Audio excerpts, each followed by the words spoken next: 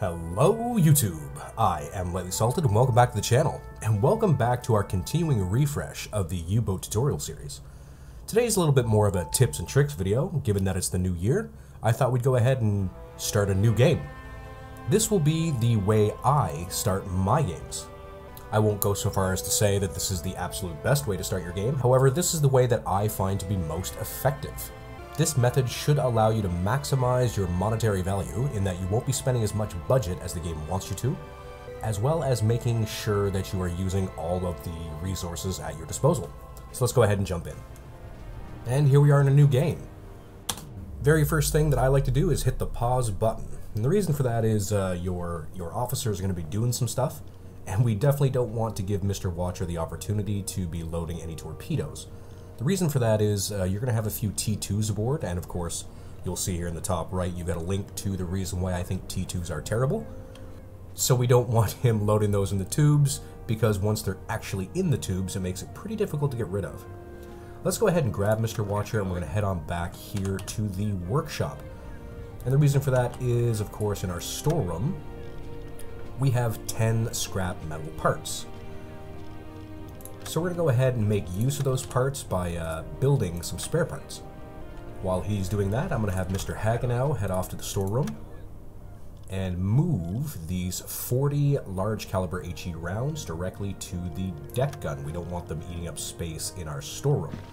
We'll go ahead and hit transfer yes, and we're going to give him two helpers. That's going to make it go a little bit faster for us, not too much so, but it'll do. Now, something you want to keep in mind, now that somebody is doing something in the storeroom, you don't want to re-engage the storeroom. Uh, you don't want to tell anybody else to head off and do something in the storeroom, either take something out, or put something in.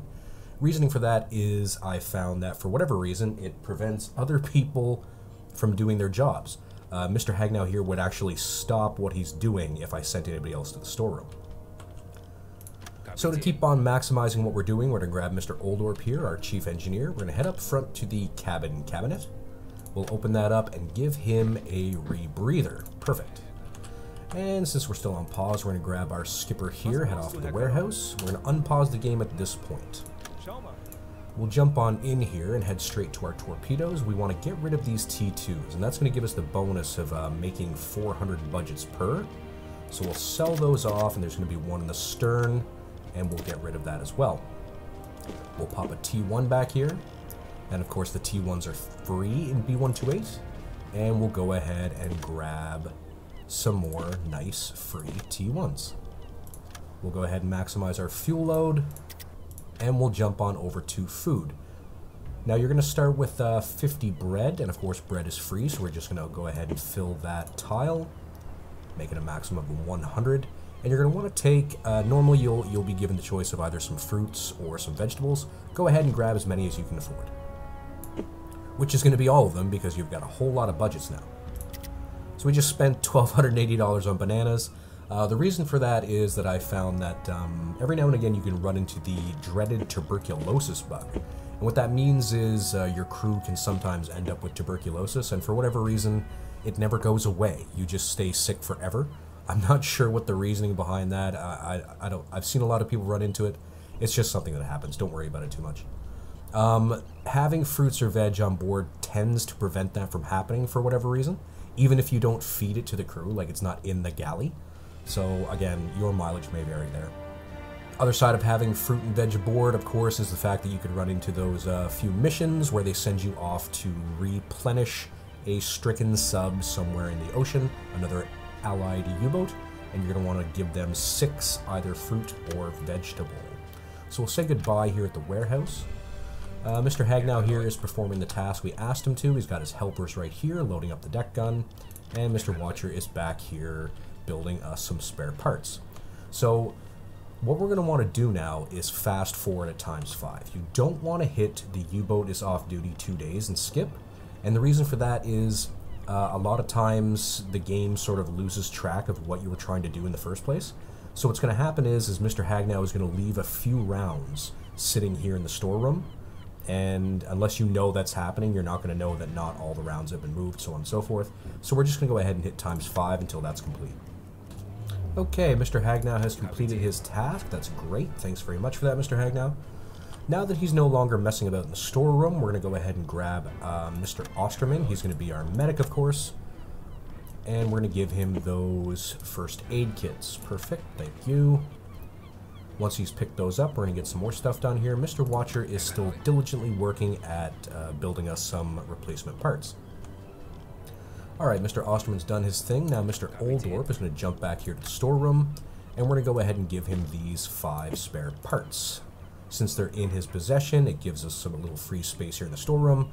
Plus, uh, then you don't have to worry too much about uh, uh, performing repairs. Go ahead and keep advancing time.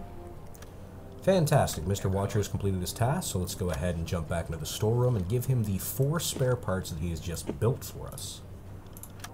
Once he's grabbed those, we're going to head to the forward cabin cabinet and pick him up that rebreather. You start with two. Perfect. And then once he's grabbed that, we're going to go ahead and let him load up torpedoes. Alright, Mr. Hagnow is going to head over here to the cabin cabinet and grab his helmet, his dapper little headgear, because as anybody who's seen my Let's Plays before, I tend to use Mr. Hagnow as my gunnery expert. Now we can finally go ahead and skip uh, the two days here, get our torpedoes aboard. We'll grab our skipper, jump back in the warehouse. And as you can see here, we've still got some space for some more free T1s. Good stuff. Okay, so we started the game with 6,000 budgets, and now we still have 6,300 after purchasing some fuel and some food, which is great, so now we're actually ahead of the game. And with that 6,300 budgets, you are of course free to pick up any additional uh, equipment that you might require. Um, I would recommend not worrying too much about ammo, as we've got tons in the deck gun, and of course, 4,000 rounds for the flak is more than enough for a few patrols. Uh, you could pick up a, a, little bit of additional food if you really felt like it. You could go ahead and just keep on filling up with free bread. That'll keep you going for uh, for those long voyages. Um, I would recommend if you tend to spend a, do a lot of sneaky sneak ninja style attacks, maybe a little more coffee for your hydrophone operators. Uh, other than that, spare parts are never a bad idea. I wouldn't bother too much with uh, spare med packs, uh, first aid kits. Ordinarily, they don't come in all that handy, but then again, uh, depending on your playstyle, your mileage may vary. Okay, folks, that was really quick there. Uh, that was just me letting you all know how I start the game. I've had a few questions as to uh, as to what I consider the best way of starting out is. Um, and again, this may not be the absolute greatest way to uh, to to use your hard-earned time and money. However, I find that if I'm starting the game with additional items and additional budget uh, and no real need of anything else, I think this is going to go pretty well. Uh, you do still have that extra 300 plus the 6,000 you started with. So again, you're ahead of the game. All right, folks, uh, real quick one this time around. Again, more of a tips and tricks than a tutorial. If you enjoyed the content today, go ahead and hit like, maybe subscribe if you haven't already. Until next time, I have been Lightly Salted. Thanks for tuning in. Bye now.